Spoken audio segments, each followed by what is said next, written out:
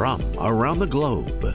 It's theCUBE, covering Upgrade 2020, the NTT Research Summit, presented by NTT Research. Welcome back. I'm Stu Miniman, and this is theCUBE's coverage of Upgrade 2020. Of course, it's the NTT Research Summit, and happy to welcome to the program Someone that's watched theCUBE for a long time, but first time on the program, Simon Walsh. He is the new CEO of NTT Americas. Simon, great to see you and thanks so much for joining us. Thanks very much, Stu. Good to be here. Nice All right. Uh, as I mentioned, your, your previous companies that you've worked for are ones that the Cube and the Cube audience are well aware of. Uh, as a matter of fact, when I worked for uh, some of those companies, NTT is one of the you know large global companies that, that I had the pleasure to interact with uh, over the years. But if you could, maybe let's start with uh, just a little bit of your background. And as I said, it's only been a few months that you've been the CEO, so you know, what's it like coming into a role like this, uh, you know, during the, the, the situation that we're all faced with in 2020? Yeah, thank you. I mean, my background is really in, you know, the platforms that enable the customers to run their technologies. And, uh, you know, I've spent some of my time in Europe and EMEA, and then, you know, latterly the last five plus years in the Americas. Um, I have to say, I really enjoy it. It's a much better environment. And if I think about it from a GDP and an economy perspective, it's a really dynamic place to work. Uh, I work with companies, you know, headquartered from Europe, running Americas, and I've worked with companies that were headquartered in the Americas, running some of the European businesses. So I've crossed the continents, if you like. Uh, and I recently joined NTT, and I have to say, you know, it was a pretty uh, lengthy uh, process to explore, but uh, that was partly, you know, interviews and due diligence, because you want to make sure that, you know, you're, buy, you're buying into a company that, you know, number one, you can have a cultural compatibility with, but also somebody who you see really investing in uh, technology that can solve for you know the business agenda of the markets. So that's really a bit about my background. And then you know joining, I mean, I literally joined uh, last week of June. So uh, my whole time has been through lockdown in terms of employment. Uh, it's been very unique uh, taking on a new post uh, exclusively remote. Um, and I was a bit worried, you know, at a human level, just, you know, how do you connect with people? Um, but what I would comment is I've actually had the ability to really meet a lot more people in person because you can physically get to people's schedules a lot easier. So that's certainly helped. You know, and I've done my uh, activities of meeting our clients. Uh, so they've been very amenable to connecting, uh, talking to our business partners, and spending you know considerable amount of time with my colleagues uh, in the Americas and around the world. Um, and it's actually been very rewarding. I think, uh, funnily enough, you're probably physically closer because you're on a screen and you're probably like 24 inches away from each other, whereas in a meeting room, you'd be the other side of a table. So uh, it's been unique, but uh, so far, so good. Well, yeah, absolutely. The, the, the, new abnormal, as we, we've sometimes say, uh, we're, we're, all used to looking in the screens all day, talking to various people there. Uh, the, the, impact on business, though, has been, uh, you know, obviously a, a, lot of different things depending on the company. But that discussion of digital transformation, a few years ago, it was like, oh, I don't know if it's real, is it a buzzword? But the, the spotlight that's been shown here in 2020 is what is real and what is not. Leveraging cloud services, uh, giving people agility, being able to react fast, because boy, in 2020, if we needed to react fast. So help bring us inside a little bit, in your time there, the discussions you're having with customers, that adoption, uh, moving along that journey for digital transformation, the impact that you're seeing, and how, how's NTT helping its customers as they need to accelerate and respond to the realities that we see today? Yeah. So you're right, Stu. I mean, digital disruption's been ongoing for you know multiple years. Um, you know, we, we used to call it you know technology and change, and now we call it digital disruption or digital transformation. So it's not necessarily new. I think the thing that's really accelerated in 2020, you know, as a consequence of the pandemic, is really the word distributed uh, in that customers are undertaking their digital transformations, understanding you know what it is to modernize processes, you know modernize the customer experience, And then they're finding that actually they don't meet in a boardroom and discuss, you know, the performance of the business. So they now need to have distributed access to data. And I think the, the topics that we see uh, very prevalent is the distributed nature of the workforce.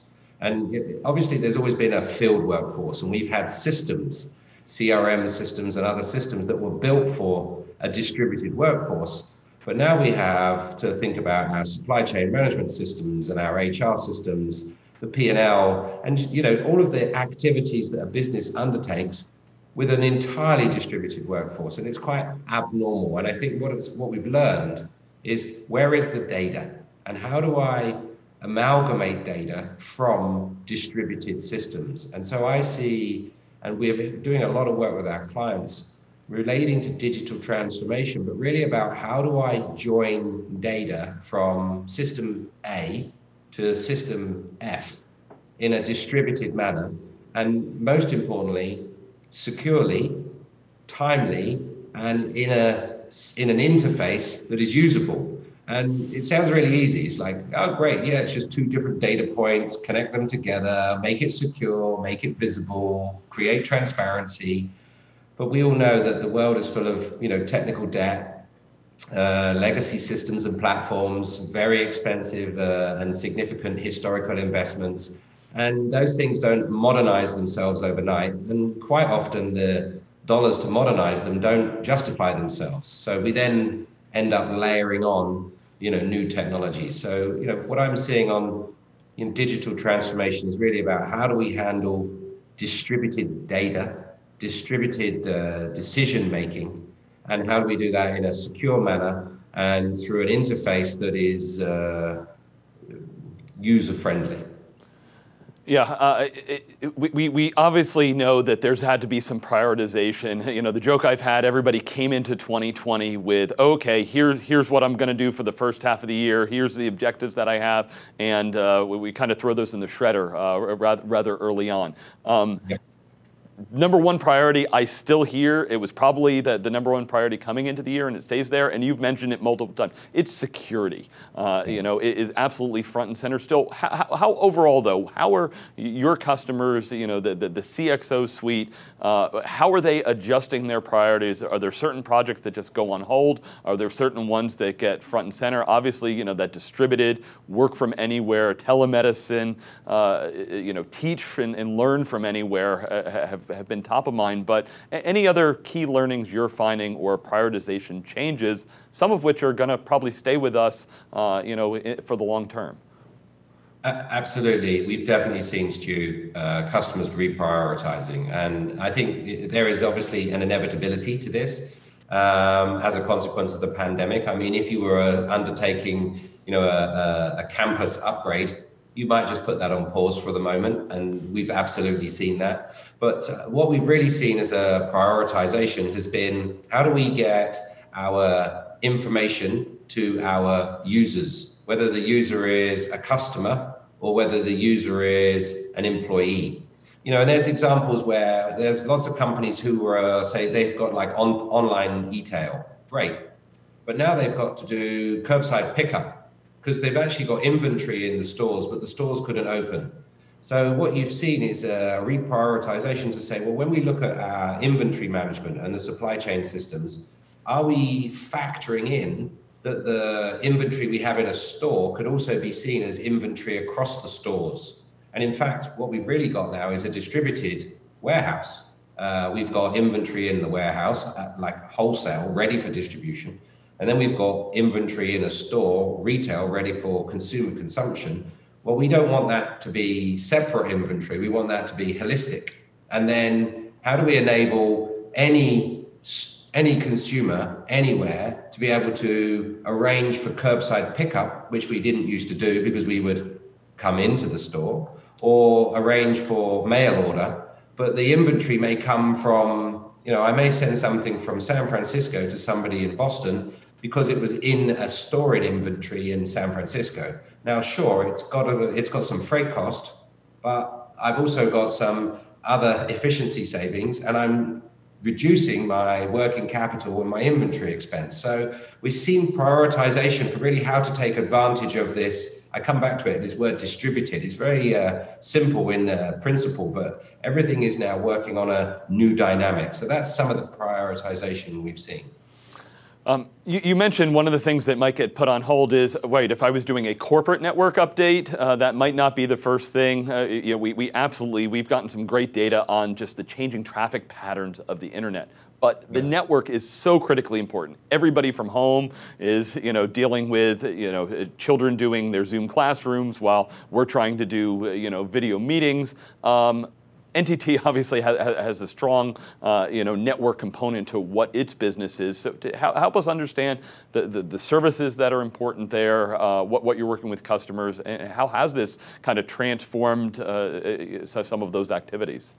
Yeah, yeah, sure. Thank you. You're so right. I mean, I, and I have to say, I'd just like to pay my respects to you know colleagues and fellow workers around the world who are not just working from home but also homeschooling uh, in parallel. Uh, you know, our kids are uh, fled the nest. You know, they're working for themselves now, so we don't have the uh, extra activity of homeschooling. But I can really have a lot of respect for colleagues who are trying to do both. It's a real fine art. Um, and we've seen a lot of actually just talking of reprioritization. You know, we've seen a lot of companies, including ourselves, you know, say to our colleagues, look after your children, homeschool them, do everything you can to support your families and then get to your work. So uh, that reprioritization, just in behavior, has been a, a, key change that we've seen a lot of people do. That flexibility to, you know, work is something you do, not somewhere you go, and therefore, as long as the work is done, we can flex around, you know, your needs as a family. So that's one prioritization we've seen acted, uh, actioned. But uh, to your point on the network, it's quite amusing to me that we've been for years uh, now talking about cloud, on demand, subscription services, and actually the one asset that you need to really enable cloud is the network.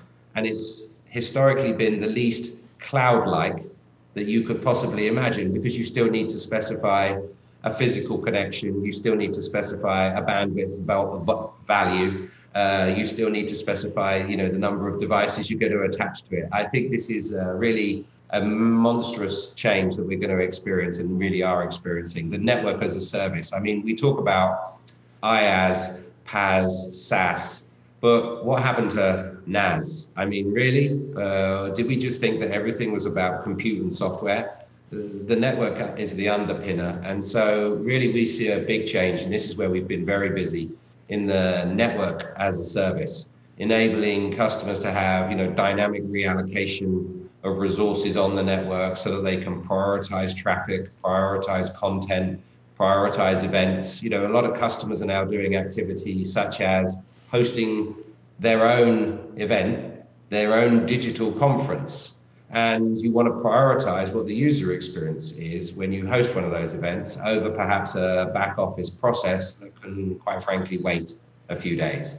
So we see a significant opportunity. This is where we've been very busy the last few months in really building out much more dynamic uh, network as a service solutions, you know, the cloud network. And I think the whole software defined network uh, agenda has uh, materially accelerated. That's one major area.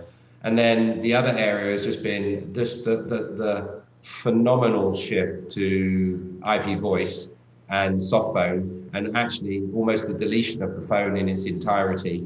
Um, everybody using you know Teams or Skype or Google Hangouts to really use as their collaboration mechanism. And then you know we're providing all the underlying transportation layer, but as IP voice, and you know that creates a a much more integrated collaboration experience and it creates a cost saving because you're taking away you know classic voice services yeah, so Simon, uh, boy, I, am excited for that. I, I, tell you, I remember when I got my first BlackBerry and they were trying to sell me some things. I'm like, wait, this is an internet endpoint.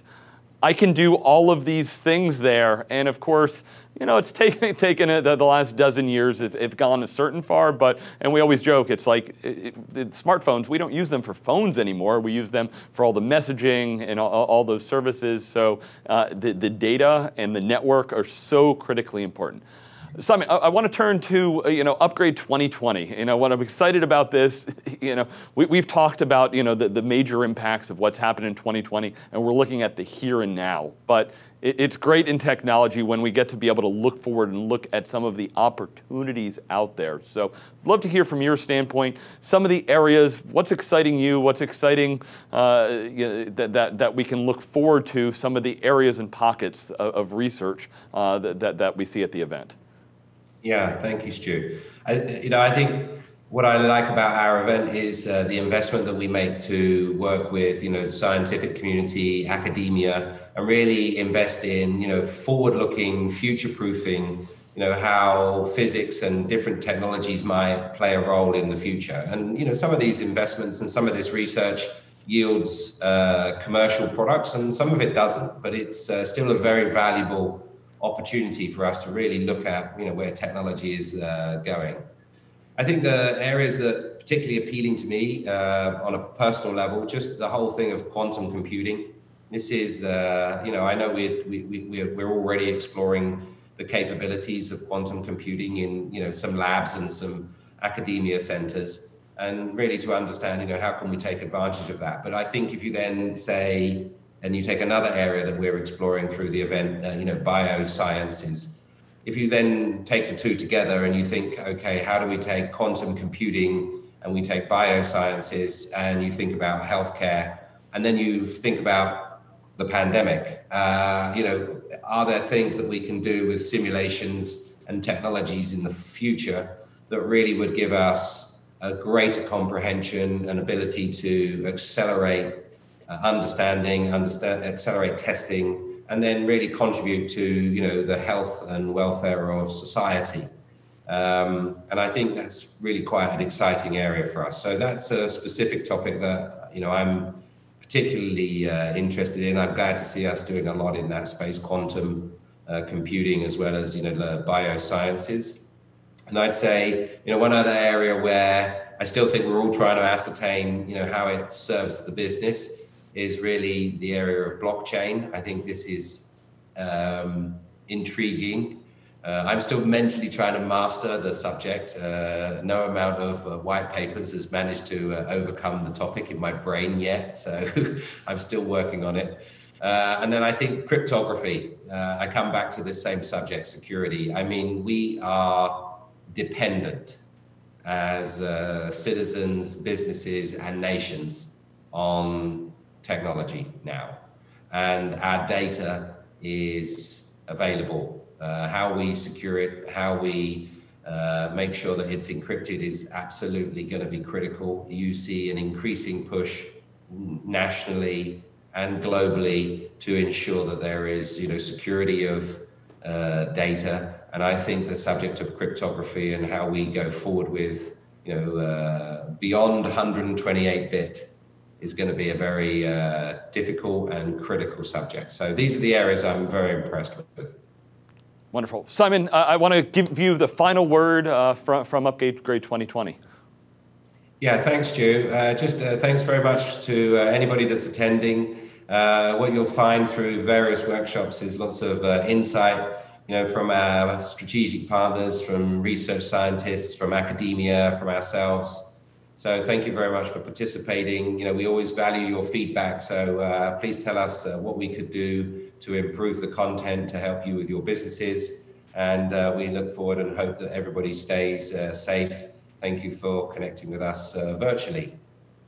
Well, Simon Walsh, thank you so much. Great having a conversation and glad to have you in our CUBE alumni now.